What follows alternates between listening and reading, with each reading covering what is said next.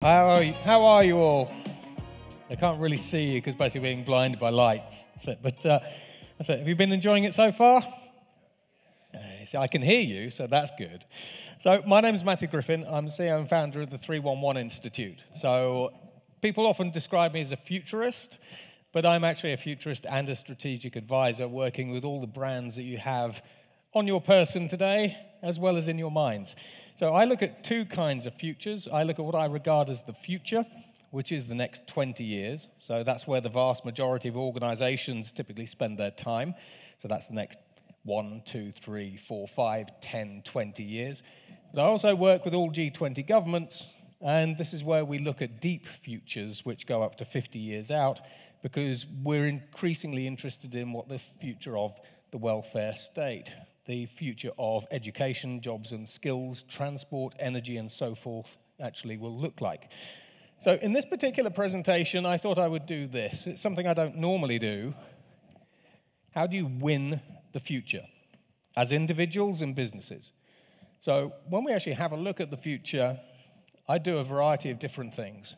So, I help blueprint the next 50 years of countries, so all countries like the UAE, UK, USA, and so on and so forth. I also launched a free university because, as you'll see through this presentation, the way that we are preparing our students and children basically for this future that we have rapidly approaching us is not up to snuff, as we say in the UK. And you'll see what I mean there. And then, in terms of the companies that I work with, I work with organizations like Visa on the future of money and payments. I work with organizations like Adobe, basically where we are reinventing the PDF and the document, which is actually a little bit harder than you think. Uh, organizations, basically like Samsung, basically that you might have on your person now. We typically talk in terms of Samsung, we talk up to 2069 uh, because that's their centennial. I also work with many 5G organizations on the future of 5G, 6G, 7G, and low Earth orbit satellite systems. Now, this is the agenda that I've sort of put together. Now, I'm going to be talking about the prepared leader, the digital opportunity, which is not what you think, at least I hope it's not what you think.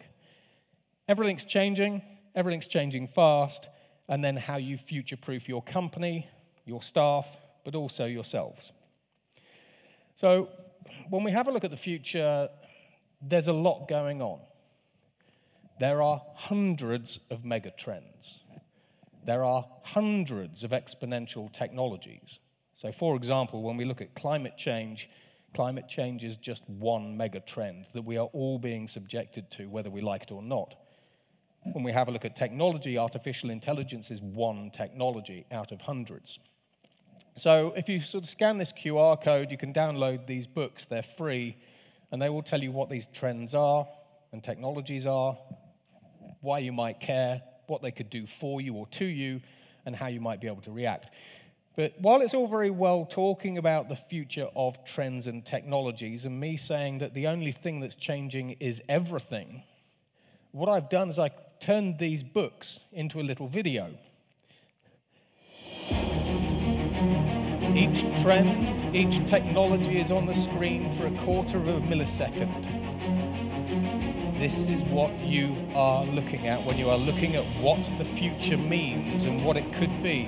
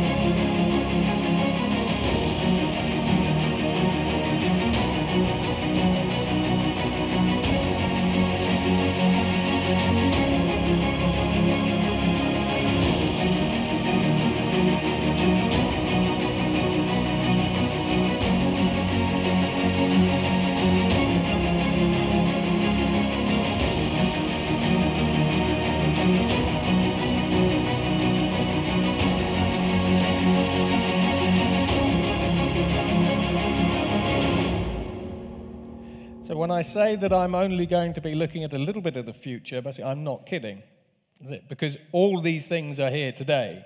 And the only thing that that two minute video does is change every single part of global business, culture, and society.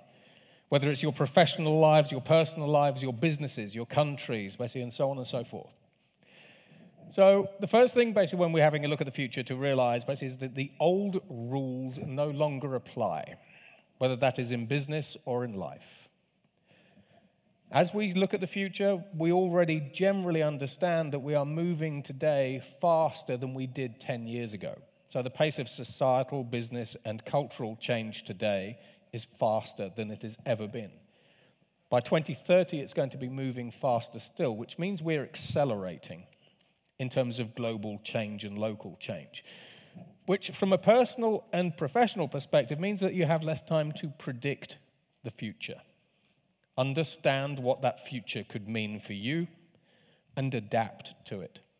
And that's an issue. This is why globally, more people around the world are anxious about the future than ever before.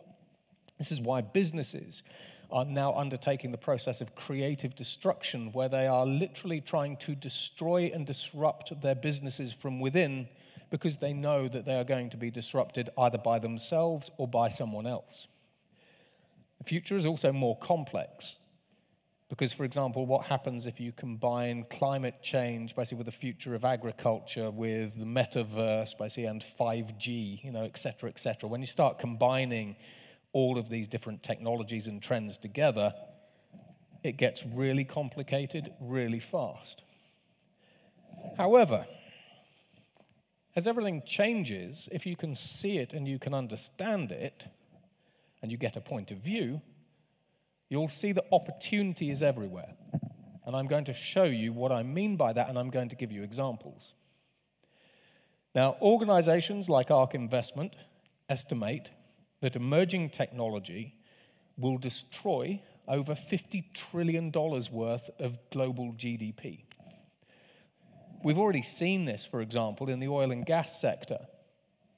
If you're an organization like BP or Exxon and you have hundreds of billions of dollars worth of assets, increasingly as we move from oil, an oil fueled economy to a renewable energy economy, the value of those assets decreases.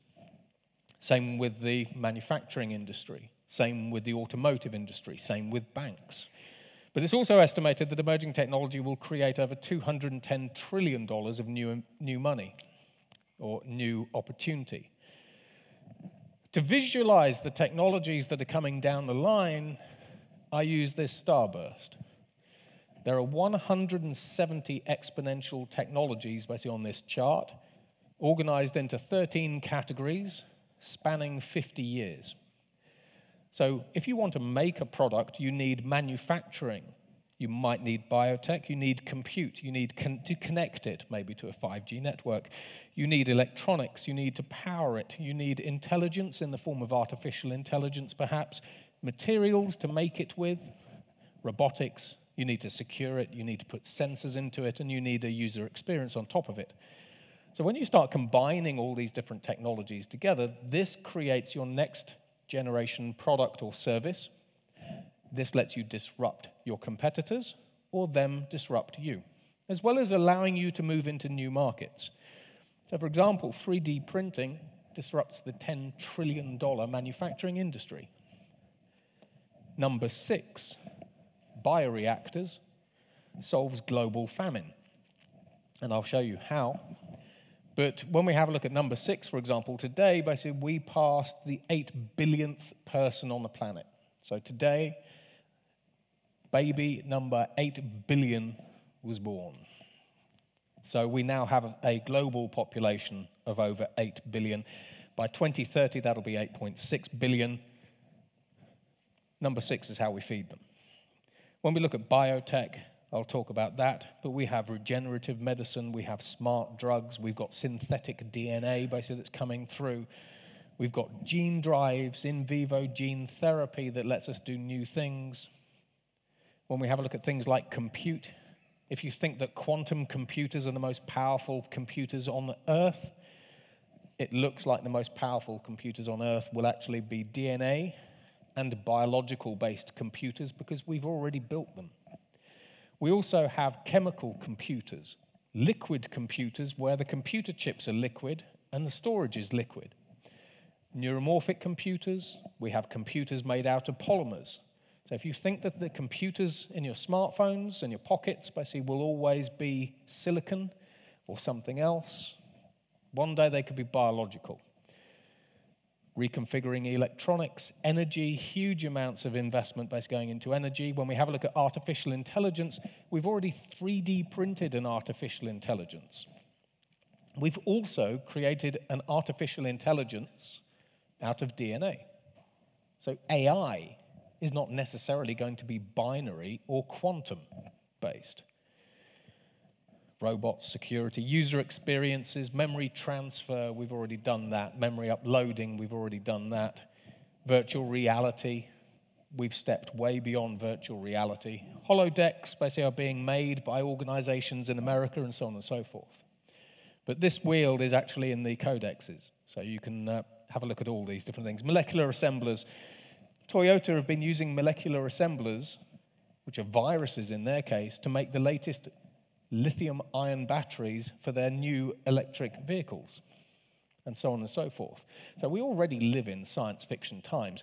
But when we actually have a look at the industries that are being disrupted, they're all being disrupted. Agriculture. I have a surprise up my sleeve later. But we can grow crops in vertical farms using 100% less potable water because we can extract water from the air.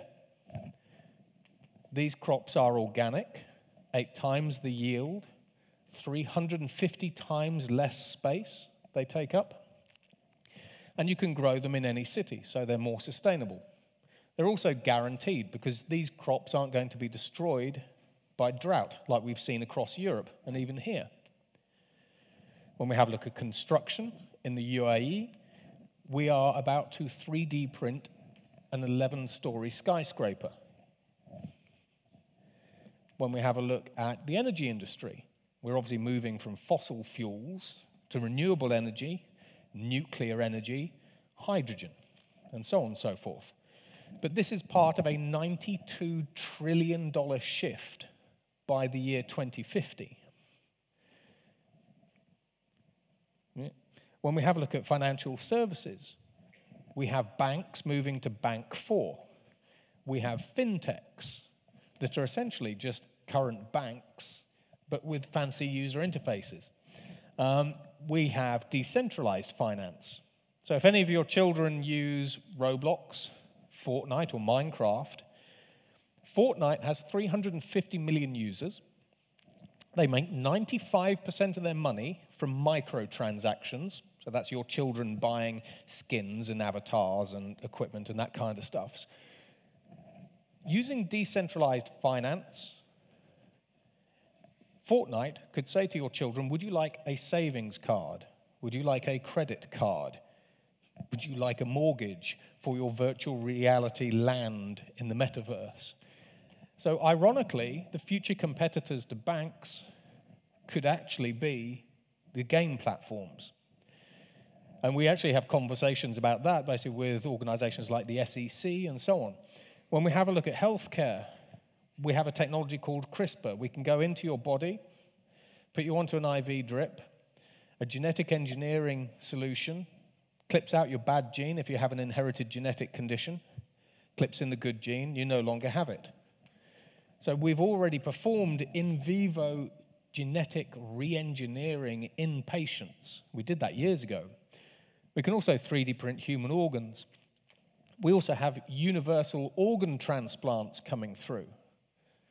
So when we have a look at biotech, by the year 28, 2028, we will be able to add more than a year's worth of life to you for every year that you live, which means that these developments in the healthcare space start putting you on course to living to over 100 years, where 100 is the new 60, where by 2050 we could be extending the human lifespan to 125 which fundamentally changes things like wealth management, estate planning, pensions and savings, and everything else.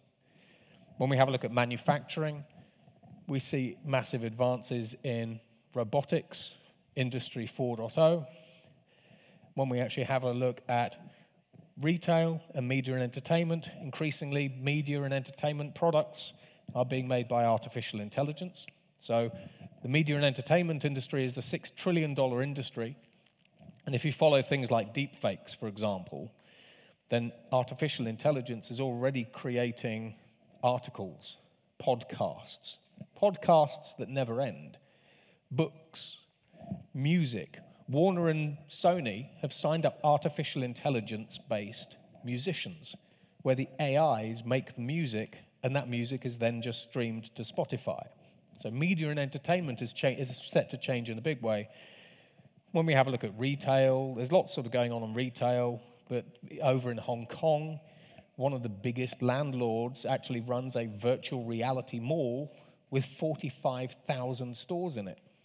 So the kids, basically over in Asia, go into a virtual reality mall, which was especially popular, as you can imagine, during the pandemic, go into the Lego shop, go into Prada, buy products, and then have them delivered. So e commerce is changing as well, but that's just a snippet. When we have a look at communications, we have 5G, we have 6G already in the works with organizations like Samsung and the IEEE Alliance, but we also have low Earth orbit satellites. So as we throw 12,000 satellites into low Earth orbit, we connect the other 3.5 billion people on the planet. But from a business perspective, that doubles your opportunity because that's now 7 billion ish people who can access your digital services from anywhere on the planet. And then when we actually have a look at transportation, the only thing that's changing there is everything is going autonomous and everything is going either electric or hydrogen, so alternative fuels. But however, as every organization digitizes itself, the fact of the matter is that irrespective of what industry that you work in or represent, you are all becoming technology companies.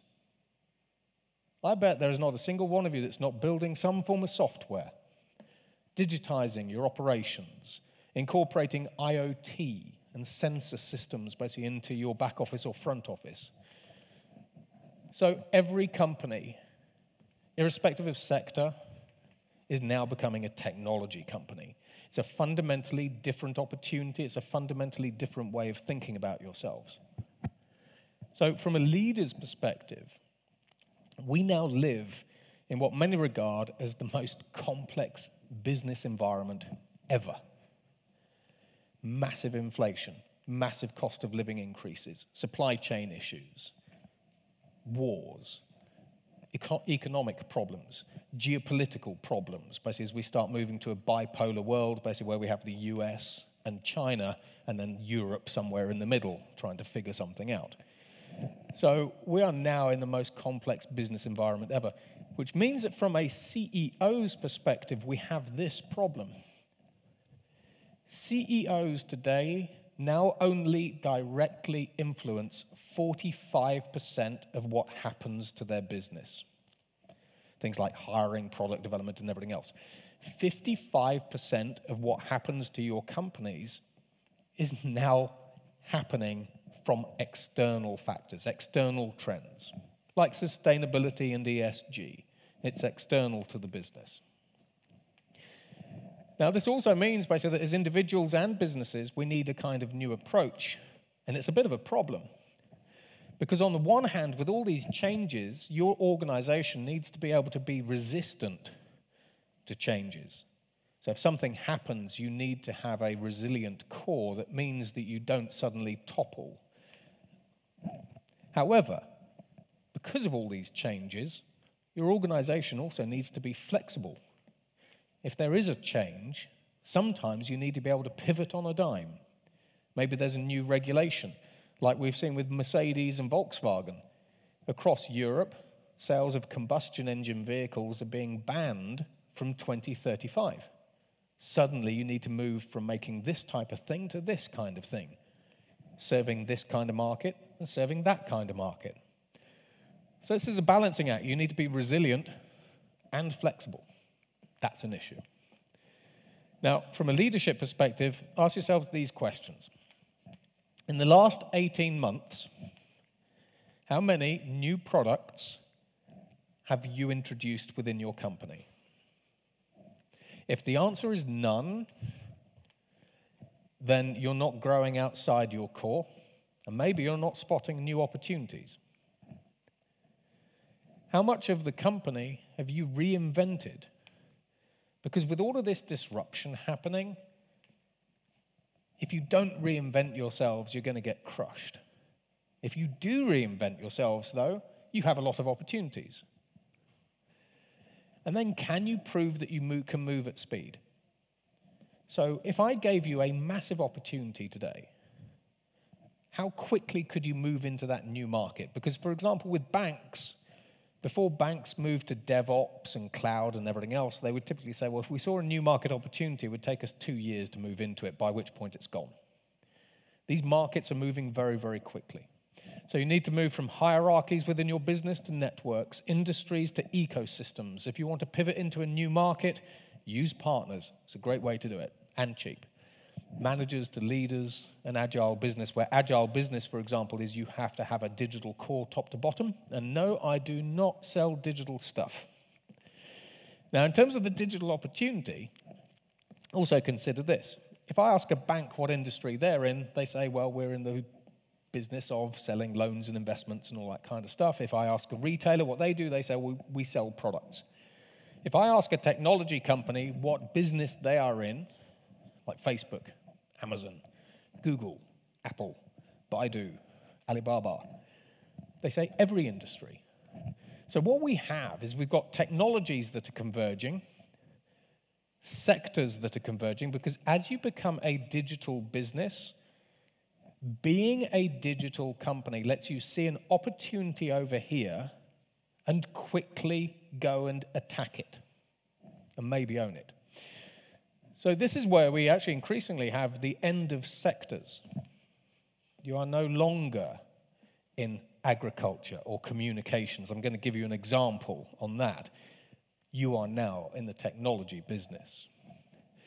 Financial, financial services organizations like JP Morgan are starting to learn from the big multi sided platform companies like Facebook and so on and so forth. JP Morgan is a bank but they created a travel company. Their travel company is estimated to be the third largest in the USA. And the reason for that is they can be there as a company when their clients book holidays with JP Morgan. So they can provide financing and credit card services and everything else. It also takes JP Morgan into a completely new kind of demographic, new customers. But it also lets them compete head to head with American Express. Starts eating into American Express's share. But if JP Morgan weren't a digital bank top to bottom, if the culture of the organization was we are a bank, they now wouldn't be moving into these new markets. Every organization can move into new markets, and I'll show you how. Vodacom. So I speak quite regularly to Vodacom. Now, we all know that Vodafone is a telecommunications company, right? Vodacom is in the payments business. They're actually providing financial services, basically, to people in South Africa. Now, MTN, if you know South Africa or if you know Africa, MTN is another telco, telco provider across the continent. They have 50 million subscribers. MTN is becoming a bank because they have a digital core they see an opportunity over here and they move into it. So, the story of Vodacom, well, I can share that with you later if you like. Now, is NIO, for those of you that know NIO, you can do a hands up, I can't quite see, but is NIO a car company? Hands up. Okay. Is NIO a food company? Okay. Not many hands up for a food company, okay. Some people might have heard of NIO. Or is NIO a lifestyle company? Any hands up for a lifestyle company? See, not really. Or is NIO all of the above? Oh, so we've got what, five, six. So, NIO is a Chinese electric vehicle manufacturer. But because they're a digital business, they are creating a super app. They are all of that and more. In fact, NIO, who make electric vehicles, now sell over a million lines of food. They sell lifestyle services, connected home products, insurance. NIO, most people think, is a car company. They are not a car company because when you digitize yourselves, you can see a market over here and you just add that new market into your app, and all of a sudden you're providing food or whatever it happens to be. Now, in the future, so last week I was in Helsinki. I was speaking to a thousand car dealerships because electric vehicles don't need as much maintenance and servicing as a traditional internal combustion engine car. I said there will be no car companies in the future. I also showed basically the car companies basically in Finland that they didn't actually know what the future of cars actually looked like, which was fun. So there'll be no car companies, but there'll be this. Car companies like Mercedes in the future will be multi sided super app technology companies that also provide mobile services like car as a service, mobile as a service, and so on. And the reason for that is this technology lets us do new things in new ways and enter new markets. this is Hyundai's car. Toyota have one, Lightspeed have one. These are photovoltaic panels. So, firstly, this car doesn't really have many lithium ion batteries in it. That's where most people would end. You just think this is a different kind of electric vehicle. This is where a futurist starts. This car generates its own electricity. It is an energy utility that generates its own electricity, right? So Hyundai now has vehicles that generate their own electricity. BMW then used blockchain technology and wireless energy transmission to become an energy distributor. So, using the same principles, this car generates its own electricity, and then just like you wirelessly charge your phone, wirelessly charges the other cars around it and charges them for the electricity that it's just shared with them. Right? But if I went to BMW and said, Oh, you're going to be in the energy business, they go, No, we're not. We have the technology. This moves them into a $10 trillion market. But we go further. This is a Tesla Model 3. It has a huge number of lithium ion batteries. Is Tesla a car company or are they a power company? Because you plug these in at home in California, and when the Californian electricity grid runs low and needs a boost, which is where it needs more electricity, we take the electricity out of this car and feed it to the Californian electricity grid. So Tesla is actually a virtual power plant company because it can aggregate together all of the electricity in these cars, and essentially they're a distributed virtual power plant. That is a real business for Tesla, by the way. When these cars drive themselves, Tesla becomes a taxi company. Tesla and SpaceX also own an increasing number of thousands of low Earth orbit satellites. So you'll buy your Tesla, and Tesla will say, Would you like us to provide your home broadband with that? And then you say, Yes or no. So Tesla could end up being your communications provider. So when I say we have the death of boundaries, I'm not kidding. Everything is changing as well.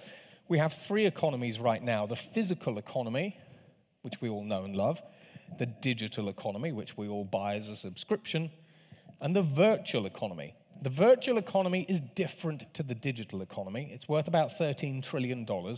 You can think of this as kind of virtual reality, metaverse, NFTs, Web3, that kind of stuff. But they're all different, but they all start coming together. And I'll show you how. So when I was with the bosses of Adidas, in three hours, they sold $25 million of virtual sneakers. So if you went back to Adidas about five years ago and said, in the future, you will be selling virtual trainers, they'd go, why? And you're an idiot. Now, this is a whole line of business. But they can sell the physical trainer, the virtual trainer, and all sorts of things. And these trainers can morph. They can be a collectible, etc., etc. That's why I say we have three economies physical, digital, and virtual. They are different. Each have their own benefits. Coca Cola, who are one of my clients, they did this. This is the Pixel Coca Cola. It's what we call a phi digital product, a physical and digital product. Now, what we mean by that is you buy pixel flavored Coca Cola in Roblox, you drink it, your avatar drinks it, it gives you an energy boost so you can run around Roblox faster. Coca Cola then give you a QR code, and you can then go down to, say, for example, a Carrefour and pick up the real can of Coca Cola. A phygital product. It's a digital product, a virtual product, and a physical product. Johnnie Walker, so Diageo, another client of mine. This is a very rare 48 year old bottle of whiskey. It's worth about £5,000, £4,000, £5,000 by itself. But they sold it along with a $35,000 NFT. And an NFT is what we call a non fungible token. If you think about a regular token like a ticket that you might get at the cinema, a physical ticket, it's kind of like that, but it's just digital and it provides you access to different things. So in this case, you buy your $35,000 bottle of whiskey as an NFT, and now you get access to different experiences and everything else. When we look at payments, the future of payments is very different to what you think. At the moment, basically, you pay with euros. If you're Nike, you can pay for your virtual merchandise using moves. So as I move around this stage, I get tracked by Nike, and they say, You've now done 5 million miles walking around stage. Congratulations, you can buy a virtual hoodie that flies. So when we look at payments, this is where we have what we call X to earn. Your children are doing this. They play games to earn money, move to earn money, where money is just value. It's something that I trade with you for something else. It's not necessarily a euro or a dollar. And talking about money itself, we're buying mortgages or buying houses over in the US with Bitcoin. Okay? Now, that might just look like a Bitcoin purchase, but to a futurist, if we all agree to trade with one another using Bitcoin or a presenter's stick. If you see that this has value or perceive this has value, and we all trade using presentation sticks, if you never cash out your Bitcoin or whatever it happens to be, your store of value, do you need the euro if you never cash out, you never need the euro. You only need whatever it is that you're transacting with. In which case, is fiat currency not the future of money? We have Mercedes that has digital humans that are selling its cars. We have Adidas that are 3D printing sneakers in the back of stores. They no longer need to make 100 trainers in China ship 100 trainers, and shred 60 million trainers when they don't get sold. This one technology eliminates their entire inventory and most of their supply chain because you walk in, you measure your foot, you select the trainer you want, it gets 3D printed in the back of the store. Adidas no longer need their supply chains in the same way that they did, and they no longer need inventory and they're making 65% more profit because of it. When we have a look at how we feed the 8 billion people that we have on the planet now, cultivated meat, aka cellular agriculture. We are told that we will have wars in 2050 over water and food. Or we're told we have to eat plants or insects or both in order to survive. This is a simple concept. I take the cell from a chicken, put it into the technology I called out earlier called a bioreactor, and I produce chicken nuggets. So I produce chicken without the animal. And I can do this with any animal. I can do it with a cow, with a zebra, with a tuna, with a salmon. I can take the cell from a salmon, put it into a bioreactor, and grow a salmon fillet. If you want to buy these, you can go to Singapore, you can go to the US. There are loads of companies doing this. In the future, you don't need to eat insects or plants. You can eat actual meat, but you don't need to deforest the Amazon rainforest any longer because you don't need the cows. If you don't need the cows, you don't need to feed them crops. You don't need to give them water. Bearing in mind, agriculture uses 70% of all of the uh, world's water today and generates 20% of all greenhouse gas emissions. When we have a look at this, we can 3D print different organs. We 3D printed bone, cartilage, muscle, corneas. In Israel, they 3D printed, albeit a small one, a living, beating human heart, which they reckon will be commercially available in terms of human sized by 2030. In the UK, if you have cancer, we can 3D print you out new bones and new tissues. So, kidneys, increasingly parts of lungs. We can 3D print parts of brains as well. So, this is where we start talking about life extension, because at the moment you have to wait for someone to die before you get an organ transplant. But what happens if I have your stem cells on file and I just print you out a new organ? Now, if we start combining 5G, robotics, and mixed reality, I'm now in Brasov, in, in Brasov, excuse my Romanian, I'm now in Brasov. I need a, I need a transplant, right? okay? Except for the fact that one of the biggest problems that we actually have is my surgeon might be down in Cape Town. Now, using 5G and telerobotics, that surgeon in Cape Town can operate remotely on me while I'm in Brasov. Now, this is important for two reasons. Firstly, this is future of work. When you think about working from anywhere, you're thinking about working in finance and being able to take your laptop to the beach, right? But when we have a look at new teleoperations technologies, you can be a surgeon in Cape Town operating on people in Brasov or in Dubai. Construction workers can use this same technology, and in Germany, a company called Doosan had a drone rig set up in Munich, and people sat in this drone vehicle, and that vehicle was operating vehicles in South Korea. So we had construction workers based in Germany building buildings in South Korea. So when we start talking about decentralizing the future of work, it's not just for your standard jobs. It's for a whole range of jobs you'd never thought you could actually decentralize. We've also managed to sequence the human genome in the United States in less than five hours that opens up a huge new world of personalized medicine.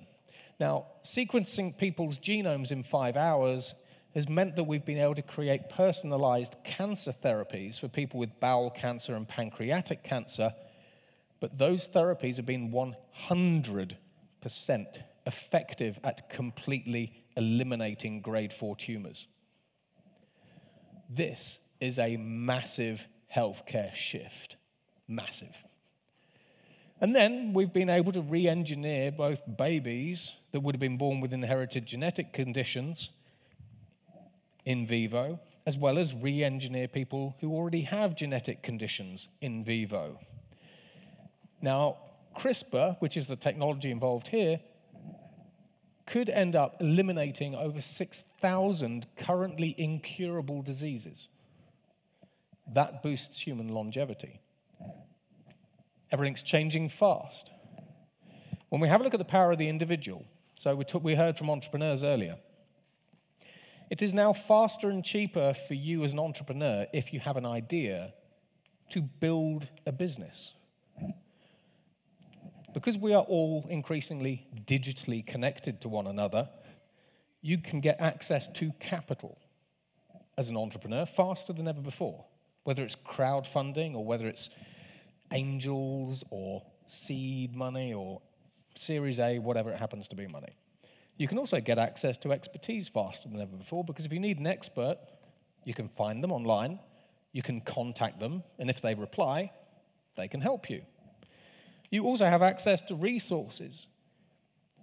So, as entrepreneurs and as individuals, you are now the most powerful versions of yourselves that could have ever lived because you can have an idea, get the money for the idea, the resources for the idea, and the expertise to build whatever product it is faster than ever before. But from a market perspective, you can scale that idea faster than ever before.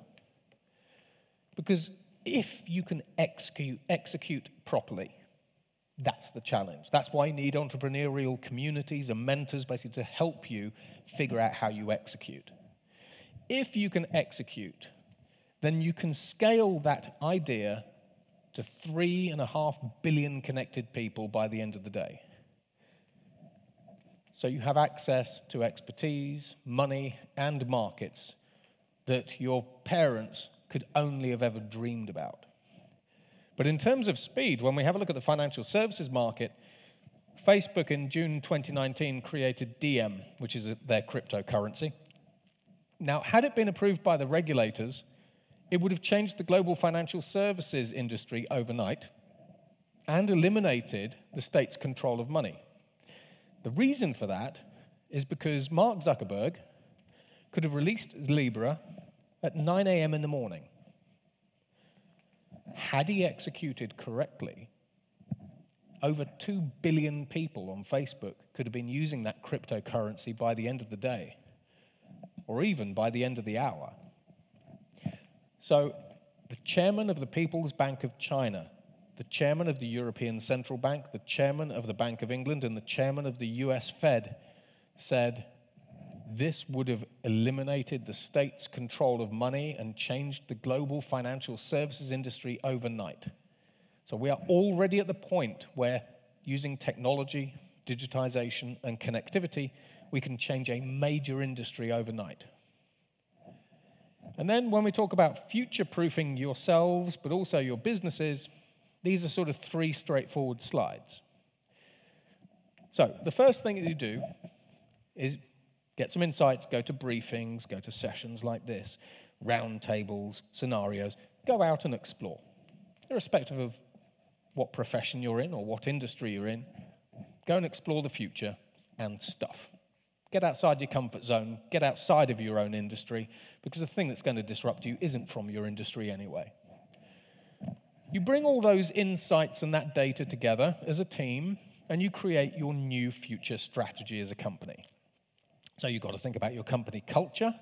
If you have the right company culture, that's 80% of the challenge right there. Because a boss that says the future's over there, we're going over there, the whole company will follow. But a boss that says the future's over there, but I don't care, and we're going to stay in here, you never get to the future. So com- company culture is really important purpose and vision. So build your strategy. Bear in mind, if everything's accelerating, if you have a 10 year strategy, it's actually a seven year strategy in the real world. A five year strategy is a three year strategy. Choose your target market, so you now know what you need to go after. This is your target market. Figure out your future operating model. So, if we were going after that market, what kind of business would we need to look like? That's your operate. That's your TOM, as they say. Is this operating model is it already existing, or do you need some new things on, as part of your operating model? Do you need new, a new hierarchy, new lines of business, and everything else? And do you need new ICT systems? So, is, you, is your technology stack where it needs to be? If it isn't, figure out where the gaps are. You then have your multiple lines of businesses to go after these new markets. So you need products, targets, and your employees need tasks to do. So if we're going after this new market, what products are we going to sell? And what tasks do we need to do? And what skills do our employees need? And then we get to this. So, products. What's the required functionality? Do you need to buy this functionality? Maybe it's just cheaper to buy a product so you can go into this new market. Or do you want to build it yourself? In which case, what skills do you need in house to build this new product or new thing? And then again, if you're building your new product, do you have the existing skills in house? Or do you have new skills? Now, for example, one of my clients is Pepsi. Uh, so, there, what we actually look at doing basically is when we need new skills, we look within the organization, send out emails via what they call the preposterous lab, and say, We need someone with these skills. Have you got that? Because actually, most of the people within your business, or quite a number of people within your business, are probably already doing this new thing as a hobby, say, like crafting an NFT or something like that. Now, from a roles perspective, what are the competencies? So, you've got your product. What are the hard skills that your staff need? And what are the soft skills? Again, are they existing skills? Say, for example, we see the future, in the future, we have quantum data scientists. Well, you might, not, you might have data scientists that know their stuff, but they might not know how to put together quantum artificial intelligence models, especially prevalent in insurance and banking if you're in that. So, how do you go and acquire those skills? And this is kind of the sort of the straightforward model. There's always, like onions, there's always layers to this, and there's depth and everything else. But fundamentally, this, you know, once you've spotted your opportunity, craft your vision, find your target market, figure out what products you need to build, how to build them, and who you need to build them, and how to sell them. Understand the gaps. Look within your company for people who can fill those gaps and help you basically with these goals. And if there's no one within your company, partner with somebody who's already done it before or who has that expertise. And then go and win the future. So I hope you enjoyed the presentation. That, as I say, was just kind of the cherry on top. That's it. There's a lot more to the future than, you, than uh, I've sort of spoken about. But uh, thank you very much for listening.